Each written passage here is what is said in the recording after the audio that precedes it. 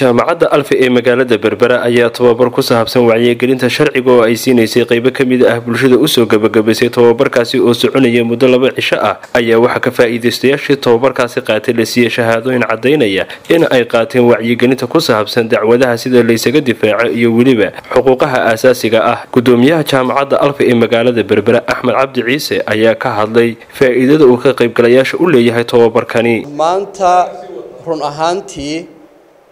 jaamacadda alfa waxa ay maanta aragtay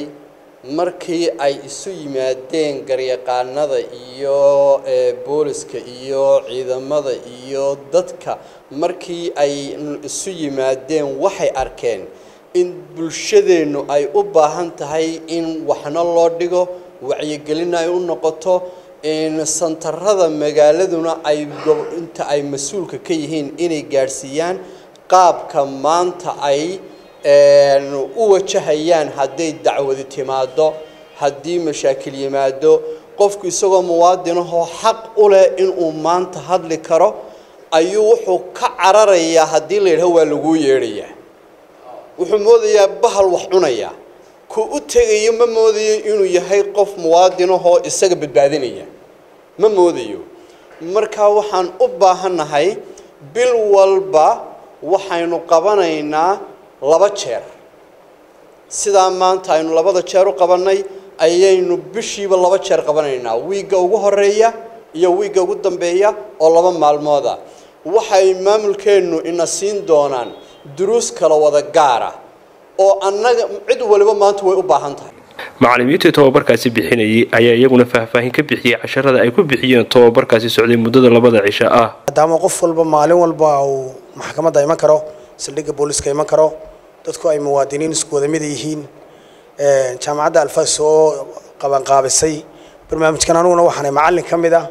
jaamacadda alfo waxaana ka mid ahaa macallimiintii casharadan bixinaysay shalay iyo maanta waxaynu qaadanay casharo kooban oo ku saabsan xuquuqaha aasaasiga ee dastuurkeennu jideeyey oo ka soo bilaabmaya qodobada koob iyo labaatanaad ilaa toddobiyo soddonaad ee dastuurka oo si wanaagsan uga hadlayay muwaadinku xuquuqda uu ku leeyahay dalka iyo waajibaadka isaga looga baahanyay inaad dalkaaga nidaamkiisa iyo sharciyadiisa kala ogaato oo ay wax kaaga baxaana waa arrin aada u muhiima siduu guddoomiye axmed sheegay maanta marka waxaynu qaadanay toddobiyo soddonkii qodob ee xuquuqda aasaasiga ah ee dastuurka jamhuuriyadda somalilan sheegayay waxaa kaleynu qaadanay nidaamka ay maraan ama uu qofku ku wajahayo dacwadaha madaniga ah. Marka uu maxkamad tegayo nidaamka arjiyada looga soo jawaabayo yeedhmooyinka ka garnaqa dacwadaha madaniga nidaamka maraan oo dhan. Siminaar laba cisho ah oo ku saabsanaa wacyigelinta iyo sidii aad u fahmi laydeen nidaamka sharciga ee loo maro dacwadaha ciqaabta iyo madaniga. Iyo si aad u fahmi laydeen oo ma bulshada reer berbera ay u fahmi layd waxa basic rightska loo yaqaano ama xuquuqaha aasaasiga ah waxaynu ku jirnaa xilli ama qarnigii ama qarni aanad noolaan karin haddaanad sharci aqoon. Jaamacadda alfa ee magaalada berbera ayaa inta badan bulshada reer berbera siisa tababaro iyo weliba casharo kala duwan oo faa'iidooyin dhexalgala u leh bulshada. Mubaarig nirig star t v berbera